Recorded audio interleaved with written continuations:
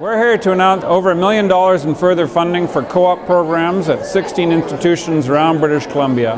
Co-op is a very effective way to connect employers with students and they both learn from the process in that employers get fresh blood, fresh ideas. Students get the experience of being in the workplace, learning from employers. This will be huge funding, particularly for the small institutions. And this is a great way for us to get our message out to potential employers, for students to get some real uh, work integrated uh, education and to use their degrees in a way that's really going to enhance their careers. Of the approximately 10 co-op, uh, former co-op students who are now full-time employees, not one of them has ever left our employ. So the turnover rates are exceptionally low because we get a chance to have them embedded in our culture at a very early stage.